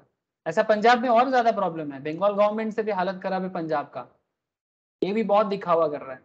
दिल्ली गवर्नमेंट फ्री में इलेक्ट्रिसिटी फ्री में वाटर अरे क्यों फ्री में? कंज्यूम कर रहा है तो पेमेंट लो। हाँ थोड़ा कम लो बट लो। फ्री में क्यों? फ्री में उसको दो, जिसको ज़रूरत है। हर किसी को क्यों फ्री में दे रहे हो? जरूरतमंद को आइडेंटिफाई करो। लेकिन ऐसा भी हमेशा के लिए फ्री नहीं। उनके डेवलपमेंट के लिए थोड़ा समय दो। डेवलपमेंट हो जाए तो फिर पेमेंट लेना चालू कर दो। जैसे कुछ कंपनीज़ पहले पहले आता है कैशबैक देता है, फिर कुछ दिन बाद कैशबैक देना बंद कर देता है। है ना? पहले पहले UPI payment Google Pay PhonePe pay cashback मिलता था। लोग बहुत करता था। फिर लोगों को आदत हो गया कंपनी भी कैशबैक देना बंद कर दिया। ऐसा हुआ ना? क्या ऐसा हुआ? ये जी पे फ़ोन पे पहले पहले ना, किसी को टेन रुपीज़ किसी को फिफ्टीन रुपीज़ किसी को ट्वेंटी रुपीज़ थर्टी रुपीज़ ऐसे कैशबैक देता था पेटीएम आजकल ये सब देना बंद कर दिया। मतलब जैसे जैसे आप पॉपुलर हो जाओगे और आपको नहीं देगा। Sir what is the point इतना सारा बात मैंने आपको क्यों कहा? सर बिकॉज़ इतना सारा बात करने के पीछे एक सिंपल सा बात था कि जैसे हम लोगों ने प्रोडक्ट प्राइस डिटरमाइन किया, जैसे तीन टका का पार्ले जी बिस्किट्स या तीन हज़ार का प्राइस इक्विलिब्रियम अब मार्केट इक्विलिब्रियम कैसे होता है? सोशल एफिशिएंसी कैसे होता है? इसका सोल्यूशन आपको यहाँ मिलेगा। श्रीलंका कैसे अपना प्रॉब्लम को सॉल्व कर सकता है? इंडिया कैसे अपने आप को श्रीलंका जैसे सिचुएशन से बचा सकता है। मतलब कभी श्रीलंका वाला सिचुएशन ना हो, इससे बचने का क्या उपाय है?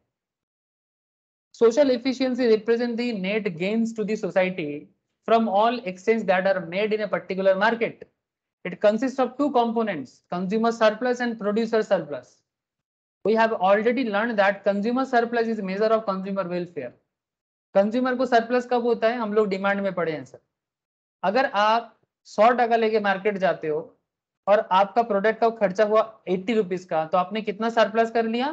ट्वेंटी का। मतलब आपने सोचा था हंड्रेड रुपीज़ लगेगा बट एक्चुअल में एट्टी हुआ। बार्गेन करके आपने कम कर दिया। तो you are feeling happy because you save twenty rupees you save twenty rupees it's always give pleasure to the consumer when they save something when they save some money, it always feel happy they always feel happy, sir ठीक है? सो consumer gain जब होता है consumer जब surplus gain करता है consumer को ना वेलफेयर महसूस होता है। बिकॉज़ वो ट्वेंटी रुपीज़ करके डेली अगर सेव करता है ना तो थर्टी डेज़ में ट्वेंटी रुपीज़ करके सिक्स हंड्रेड सेव करता है। और मैं आपको बता दूँ, भारत में ऐसा भी फैमिली है, जहाँ पर सिक्स हंड्रेड रुपीज़ में वो अपने बच्चे को ट्यूशन दे सकता है। क्या मैं सही बोल रहा हूँ सर टेल मी ऐसा होगा कि नहीं? Yes sir. है ना? अगर आप डेली ट्वेंटी रुपीज़ सेव करो थर्टी डेज़ में आप सिक्स हंड्रेड सेव करोगे सिक्स हंड्रेड पर मंथ में एक माँ या एक पापा अपने बच्चे को पढ़ा सकता है एक अच्छा ट्यूशन भी दे सकता है। तो consumer welfare is a very big thing अगर आपके पास सरप्लस होगा तब ना आप वेलफेयर करोगे। छोटा छोटा मैटर सर बहुत बड़ा कारनामा करके जाता है। तो इकोनॉमिक्स में जान है सर, जान। हर बड़ा प्रॉब्लम का सोल्यूशन है इसमें। बस समझने के लिए ना, वो इच्छा होना चाहिए। आधा से ज़्यादा लोग तो इकोनॉमिक्स में ग्राफ देख के डर जाता है। कि भगवान, मेरे दिमाग में इकोनॉमिक्स कुछ नहीं जा रहा है, क्योंकि ये तो ग्राफ है, ये कहाँ कहाँ से ग्राफ निकल रहा है, इधर से, उधर से। हाँ ऑक्टोपस जैसा लगता है। कोई कोई मेरे को ऐसा भी बोलता था, ठीक है, कि सर ये तो ऑक्टोपस है। ऑक्टोपस जैसे इधर उधर से निकलता है ना इकोनॉमिक्स का ग्राफ उनको ऑक्टोपस जैसा लगता है। अरे भाई ग्राफ से क्या लेना देना? Try to understand the economics का problem solving skills so consumer surplus consumer surplus आपको जिस तरह से बेनिफिट दिया ना वेलफेयर दिया उसी तरह से प्रोड्यूसर सरप्लस प्रोड्यूसर सरप्लस किस पॉइंट ऑफ़ व्यू से? सप्लायर के पॉइंट ऑफ़ व्यू से. ना हाउ सप्लायर का सरप्लस होगा? सो so, ध्यान से सुना sir concentrate sir there is welfare gain to producer as well producer मतलब जो प्रोड्यूस कर रहा है या सप्लाई कर रहा है when they participate in the market namely producer surplus. Producer surplus is the benefit derived by product producers from the sale of unit above and beyond their cost of producing that unit. This occurs when the price they receive in the market is more is more than the minimum price at which they would be prepared to supply. It is represented by the area above the supply curve and below the price line. Above the supply curve and below the price line. मतलब producer का बारे में सोचो। ये supply का line है, ये price का लाइन है। प्राइस लाइन और सप्लाई कार्ब का जो बीच का एरिया है, ये प्रोड्यूसर का सरप्लस एरिया है। सर, कैसे प्रोड्यूसर सरप्लस करेगा? सिंपल सा लॉजिक है। अगर आप, एक सिंपल देखो। अगर आप कोई प्रोडक्ट दस टाका में बनाते हो टेन रुपीज़ में आप बनाते हो, और अगर आप उस टेन रुपीज़ के प्रोडक्ट को ट्वेंटी रुपीज़ में सेल करते हो टेन का प्रोडक्ट ट्वेंटी में सेल करना है तो कितने का प्रॉफिट कर लिया आपने? टेन रुपीज़ का, है ना? टेन रुपी एक्स्ट्रा लेकिन सर अगर ये टेन का कॉस्ट फिफ्टीन हो जाए तो या सेवनटीन हो जाए तो आपका प्रॉफिट क्या हो जाएगा? कम हो जाएगा? ये सर नो जितना आपका कॉस्टिंग बढ़ जाएगा उतना आपका प्रॉफिट या सरप्लस कम हो जाएगा। यस सर है ना? तो एक प्रोड्यूसर या सप्लायर के लिए क्या प्रोडक्शन कॉस्ट बढ़ना अच्छा है क्या?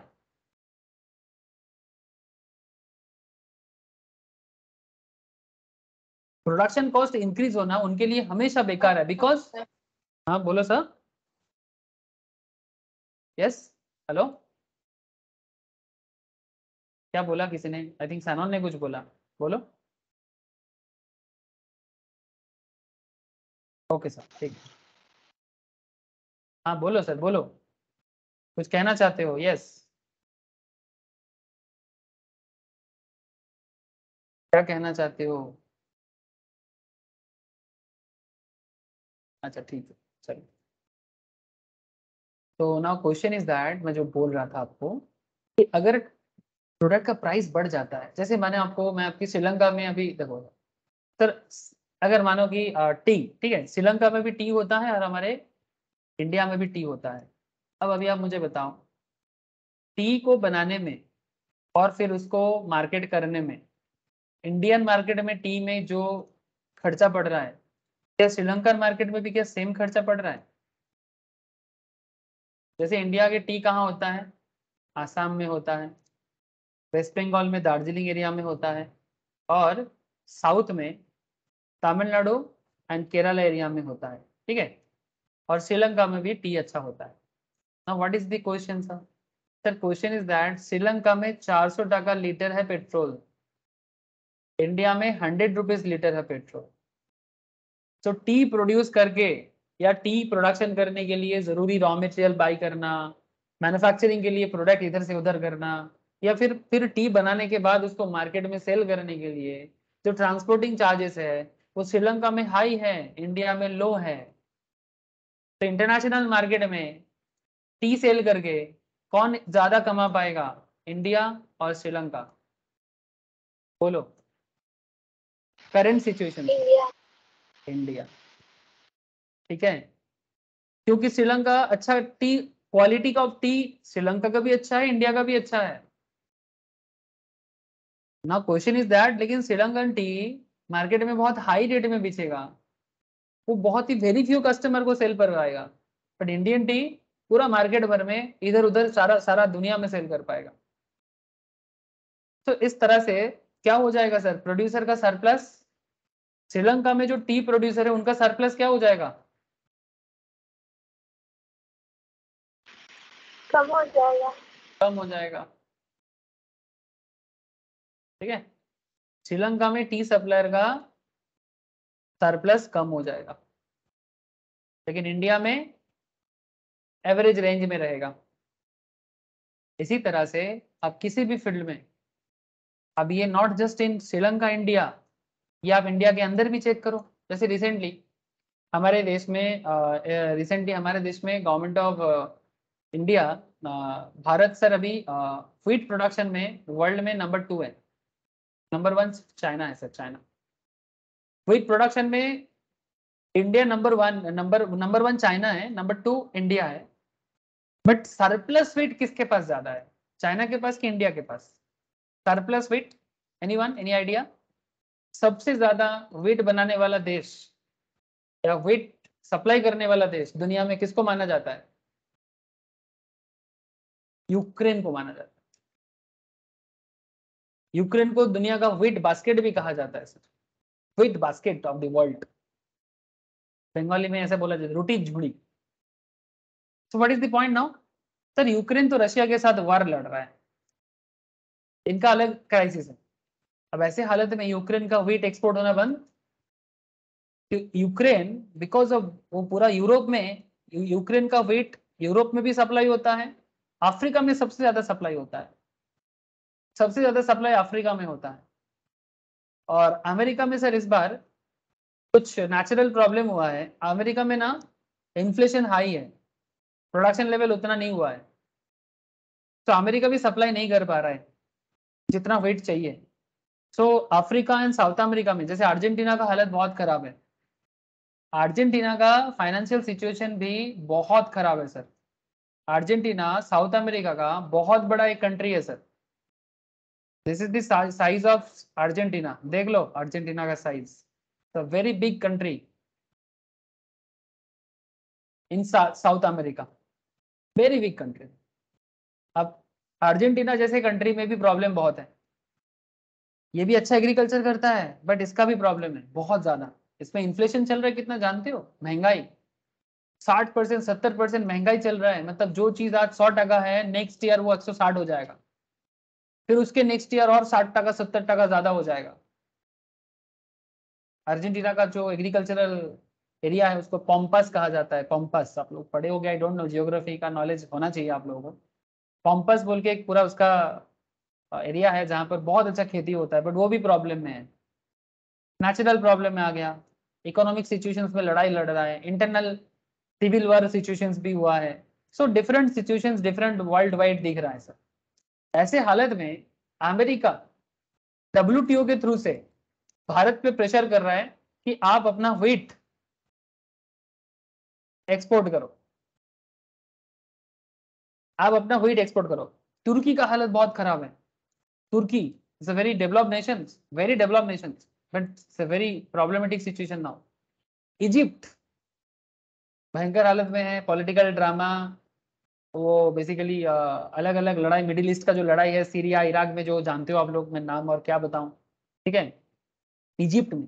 लेकिन भारत ने फिर भी इजिप्ट और तुर्की को वेट सप्लाई किया because they are in serious situation Lebanon Lebanon यहीं पर है sir Lebanon they are also economic crisis मतलब almost thirty forty percent of the world economic crisis में जा रहा है। अब डब्ल्यू के थ्रू से यूएस इंडिया के ऊपर प्रेशर करना चाहता है कि इंडिया आप वीट एक्सपोर्ट करो। दो तीन, कुछ एक्सपोर्ट किया भारत ने बट इंडिया अभी एक्सपोर्ट करना बंद कर दिया।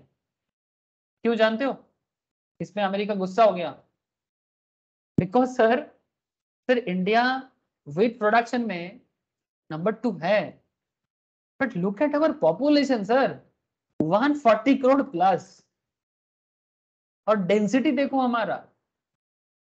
चाइना का प्रॉब्लम अलग है। चाइना नंबर वन तो है, पर चाइना का density is not like us China का डेंसिटी और चाइना का साइज़ देखो क्या सर, भारत से दो गुना ज़्यादा बड़ा है चाइना साइज़ में। भारत का जो पुराना मैप है, उसमें भारत और चाइना ऑलमोस्ट सेम था। बट अगर आप चाइना देखोगे, ये है चाइना का साइज़ ऊपर से ये वाला हिस्सा भारत का लेके रखा। है तो बहुत बड़ा हाथी है। भारत के अंदर कितना कितना चाइना के अंदर दो दो भारत घुस जाएगा। देखो, है ना? दो दो भारत आ जाएगा चाइना के अंदर। ये है चाइना का साइज़ अब इतना बड़ा देश में कितना पॉपुलेशन है? 150 करोड़ प्लस 10 करोड़ समथिंग ज़्यादा भारत से। इसका एग्रीकल्चरल लैंड भी हमसे ज़्यादा है। लेकिन हाँ चाइना का एक प्रॉब्लम भी है। ये जो एरिया है ना चाइना का दिस एरिया यहाँ पर अच्छा खासा कुछ हो नहीं पाता बिकॉज़ ये deserted area hilly desert as well as normal sand desert ठीक है, वो अलग बात बट उसको छोड़ देते हैं side but China restrictive economy चलाते हैं, उनको ऊपर दुनिया के कोई प्रेशर नहीं रहता। अलग बात है, चाइना का अलग कॉन्सेप्ट है बट भारत ने भी ना किया। क्योंकि अगर दुनिया भर में क्राइसिस हो रहा है, अगर भारत भी वीट एक्सपोर्ट कर दिया, फिर बाद में हम लोग क्या खाएँगे? इसलिए मोदी जी ने ना कर दिया। बोला, हम लोग देंगे बट अभी नहीं दे पाएँगे। क्योंकि पहले भारत भारत को खाना खिलाना है। बहुत मेहनत से लास्ट सत्तर, पचहत्तर साल में भारत ये जगह बनाया है। आज कम से कम फ़ूड के लिए तो लोगों के सामने हाथ ना फैलाना पड़ता है। एक मज़ा का बात जानते हो, सर? ये अमेरिका, यही अमेरिका।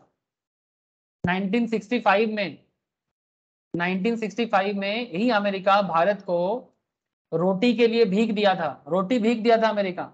यस सर हमारे पास इतना रोटी नहीं था। इसके लिए एक बहुत फ़ेमस केस है पी एल फोर एट्टी देखो ये इकोनॉमिक्स में बहुत बड़ा केस माना जाता है पी एल फोर एट्टी क्या हुआ था पी एल फोर एट्टी में? P L four eighty basically एक बहुत बड़ा ट्रैप था जिसके थ्रू से भारत को अमेरिका के तरफ़ से लोन पे गेहूँ खरीदना पड़ता था बिकॉज़ भारत के पास इतना खाने के लिए भी, रोटी रोटी के लिए भी कुछ नहीं था। ये पुराना केस है 1960s का। The fundamental of relationship are somewhat similar to 1960s even today at the time the US had attempt with diplomacy with India मतलब भारत को रोटी देके ऐसे मतलब डिप्लोमेसी कर रहा था, ताकि भारत अमेरिका के हिसाब से चले। The relationship had soured one the US tried to attach tough conditions to its wheat supplies. Six decades later, India is more than self-sufficient in wheat production. Tables have turned today. Now the US wants India to export its wheat to other parts of the world amid rising price due to Ukraine war, whereas India is avoiding falling into the wheat trap all over the again. The ghost of TL 480. Oh, क्या situation है sir हाँ क्या situation है मजा आ गया जिस wheat के लिए अमेरिका भारत के ऊपर दादागिरी मारता था 1960 पे बिकॉज़ भारत इंडिपेंडेंस होके जस्ट 10 साल ही हुआ था, ठीक है? तब एक मतलब एक एक स्पाइनल लेस भारत के ऊपर अमेरिका दादागिरी मार रहा था। आज उसी भारत के सामने हाथ गिराना पड़ रहा है अमेरिका को कि भारत गेहूँ दो supply wheat to us to us as well as to the world but Bharat इस ट्रैप में और नहीं गया सर क्योंकि भारत फिर से लोगों के सामने कुछ नहीं तो खाने के लिए तो नहीं तरस सकता। बिकॉज़ भारत जैसे फर्टाइल लैंड में ब्रिटिश ने कितना हमको पागल किया, जानते हो आप लोग? भारत का सिचुएशन कभी नहीं होता कि भारत को खाने के लिए यूएस के ऊपर डिपेंड करना पड़ रहा है। ये हुआ ब्रिटिश के कारण। इंग्लैंड ने 1176 बंगाली कैलेंडर ईयर ठीक है? इसको छिहत्तर छिहत्तर या भी कहा जाता है। मतलब इसको बंगाल बंगाल का काला दिन भी कहा जाता है। क्या किया था जानते हो? It's a man made it's a man made food crisis build in India पूरा बंगाल पूरा बंगाल सर बंगाल जो एरिया है, ये फ़ूड सप्लाई में वर्ल्ड में टॉप करता है वर्ल्ड में टॉप करता है। मतलब आज का Bangladesh and Bengal and Odisha region and Bihar ये वर्ल्ड का मोस्ट फर्टाइल लैंड है। ये मैं नहीं कह रहा हूँ the economist famous father of economist modern day में एडम स्मिथ कहता है कि वर्ल्ड का सबसे फर्टाइल लैंड दिस एरिया इससे फर्टाइल एरिया दुनिया में नहीं है, दुनिया में नहीं है। और ये एरिया जो फ़ूड प्रोडक्शन कर सकता था इंग्लैंड में बेसिकली ड्रॉट हुआ था इंग्लैंड में फ़ूड नहीं था।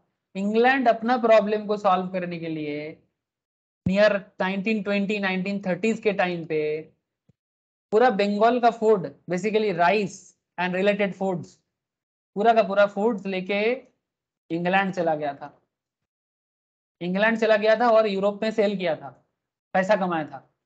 प्रॉब्लम में क्या हुआ जानते हो? प्रॉब्लम ये हुआ, जिस बंगाल के फ़ूड से आधा से ज़्यादा भारत को खाना मिलता है मतलब बंगाल का राइस प्रोडक्शन से पूरा का पूरा नॉर्थ इंडिया को राइस मिलता है। जैसे नॉर्थ इंडिया के व्हीट से बंगाल को व्हीट मिलता है सिमिलरली तो बंगाल का प्रॉब्लम बंगाल का नहीं था।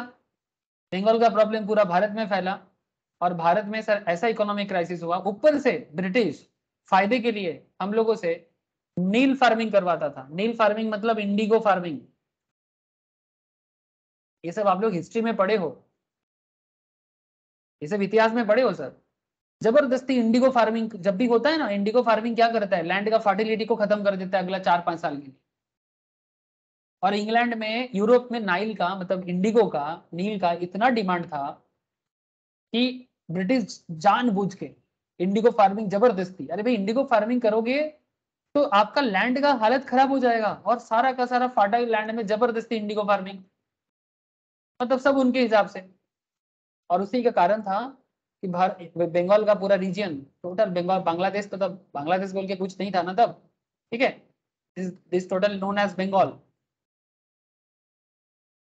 food crisis situations create all automatically अब इसका भरपाई करते करते 1960 में अमेरिका का दादागिरी हमारे पास ना तो राइस है, ना ही हमारे पास व्हीट है और ना ही हमारे पास मिल्क है। मिल्क का प्रॉब्लम तो बाद में आफ्टर इंडिपेंडेंस आमूल ने सॉल्व किया।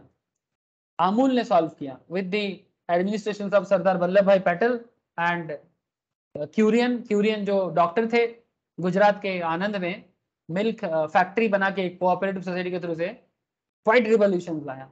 आज भारत मिल्क प्रोडक्शन पे दुनिया में नंबर वन है। आपको जान के अच्छा लगेगा। मतलब भारत को मारने के लिए ना वेस्टर्न वर्ल्ड बहुत कोशिश किया है। बट सर इसको मारना इतना आसान नहीं है। भारत है sir Bharat. More than ten thousand years का एक सिविलाइजेशन है। जब ये American world and west European world ना जन्म तक नहीं हुआ था। एक फ़ेमस कुछ दिन पहले ही पढ़ रहा था। एक वेस्टर्न इकोनॉमिस्ट बोल रहा है कि we western people are much more develop than eastern people मतलब इंडिया ये सब ईस्टर्न वर्ल्ड है ना? तो वो बोल रहे कि वेस्टर्न लोग ईस्टर्न से बहुत ज़्यादा डेवलप है। बट दुख का बात यह है मतलब वो इकोनॉमिस्ट बोल रहा है बट सबसे सैड प्रॉब्लम ये है कि ईस्ट कितना भी हमसे अंडर डेवलप हो वेस्ट को ईस्ट के ऊपर ही डिपेंड करके रहना पड़ता है। बिकॉज़ वेस्ट के पास वो सब चीज़ नहीं है जो ईस्ट के पास है। भले ही वो कितना भी डेवलप हो जाए, उसे डिपेंड भारत के ऊपर, चाइना के ऊपर करना ही पड़ता है। ये बात आज आप लोग नहीं समझोगे। जब आप इकोनॉमिक ये तो मैं आपको कुछ कुछ एग्ज़ाम्पल दे रहा हूँ। बाकी जैसे जैसे आपका इकोनॉमिक नॉलेज बढ़ेगा ना सर आप समझ जाओगे कि ये कितना बड़ा बात है सर ठीक है? आज अमेरिका को मैं आपको रिसेंट न्यूज़ दिखाया। आज अमेरिका को भारत के सामने हाथ फैलाना पड़ रहा है। टेबल कैसे चेंज हो गया देखो। कि भाई वीट दे दो। जिस भारत पे वो भीख भीख दे रहा था, पर नेहरू जी भीख नहीं लिया, नेहरू जी ने लोन लिया था। 96 में जाके 1960 का पीएल 480 का लोन रिपे हुआ सर अच्छा है कि नेहरू जी ने लोन लिया था। अगर मतलब बेसिकली हेल्प ले लेता तो क्या है ना हेल्प लेने से आपको उसके हिसाब से चलना पड़ता है। ठीक, जैसे पाकिस्तान अमेरिका का अमेरिका का हेल्प ले लेके उसके हिसाब से चलना पड़ा। अफ़गानिस्तान अमेरिका का हेल्प ले लेके आज उसके हिसाब से चलना पड़ा। आप समझ रहे हो ना? कि middle east countries Afghanistan, Pakistan में क्या प्रॉब्लम है? कि दूसरे का हेल्प से जीता है। अरे भाई, दूसरे के हेल्प से जियोगे तो यही होगा। अपने दम पे जियोगे तो सर उठा के जियोगे। हेल्प से जीने से कभी कंट्री क्या, ना तो फैमिली टिक सकता है, ना तो कंट्री दो दिन में खराब हो जाएगा। श्रीलंका भी वही सोच रहा है। हेल्प ले कि लोन ले। लोन लोगे रिपे करोगे रेस्पेक्ट में जियोगे। लेकिन हेल्प लोगे तो दादागिरी सुनना पड़ेगा। मतलब आपका कंट्री आपका नहीं रहेगा, दूसरे का हो जाएगा। मतलब it's like a colonial concept is how the economic efficiency can be achieved equilibrium price के थ्रू से। तो यहाँ पर एक इंपॉर्टेंट बात है सर मार्केट में प्रोडक्ट का प्राइस ऐसा लेवल में होना चाहिए, ताकि कंज्यूमर में खुश हो और प्रोड्यूसर में भी खुशी रहे। तो for all all quantities below O Q मतलब अगर ओ क्यू से भी और कुछ क्वांटिटी है there is a difference between the price that producers are willing to accept for supplying the good and the price that prevails in the market producer surplus disappears when market price is at equilibrium जब market price P पे आ जाता है तो producer surplus भी नहीं रहता। That is price at which sellers are willing to offer for sale is equal to the price that they receive ठीक है? मतलब अगर प्राइस जो है ना, वो ऑटोमेटिक इक्विलिब्रियम हो जाता है, जिसपे प्रोड्यूसर्स का भी उतना सरप्लस नहीं होता है कंज्यूमर को भी ज़्यादा सरप्लस नहीं होता है। तो ना तो कंज्यूमर को बहुत ज़्यादा बेनिफिट ना तो प्रोड्यूसर को बहुत ज़्यादा बेनिफिट तो मार्केट इक्विलिब्रियम ठीक है? तो यही, ये इमेज आपको वही बताता है कि किस तरह से सोशल एफिशिएंसी क्रिएट होता है। This is also called market equilibrium social efficiency is achieved with both producers and consumers enjoying maximum possible surplus